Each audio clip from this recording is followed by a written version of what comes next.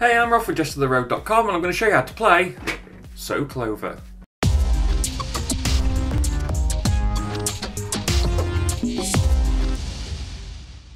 This is a game for 3 to 6 players, plays in about 30 minutes, is designed by François Romain and is published by Repos Production. This is an abstract cooperative word game where players are trying to score as many points as possible. So why don't you show me you're so clever by hitting subscribe, play cooperatively with the video by clicking like, and don't forget to for leave a comment.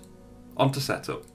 Each player gets a clover board and a marker. Shuffle the cards and place them into a face down deck. Each player will draw four, then secretly and randomly place them on the four spaces on their board. This creates four pairs of words around the board next to each leaf of the clover. And now on to gameplay, which is in two phases choose clues and resolution. When choosing clues, players secretly and simultaneously write one word on each of the four spaces around the board trying to tie the two words on that side together. You can consider them as two separate words. For example, here I'm thinking of this one. I've got sun and machine. I need one word to connect those two together. Or I could try it as sun machine as one word. You just need to put a single word on the leaf, but there are some rules. Compound words are allowed as well as common and proper nouns. You're allowed to use acronyms, you're allowed to use numbers, and you're allowed to use onomatopoeic words.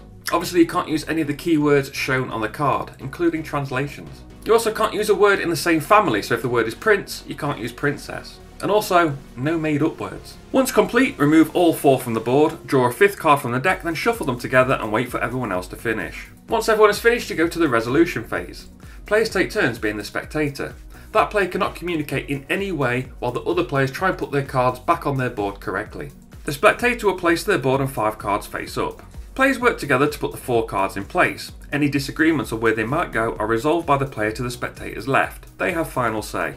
Once everyone is sure they are correct, the players will announce their final placement on the board. If all four cards are correct, the team scores 6 points, 1 point per correct card plus 2 bonus points. They discard the cards and flip over the board, writing the score.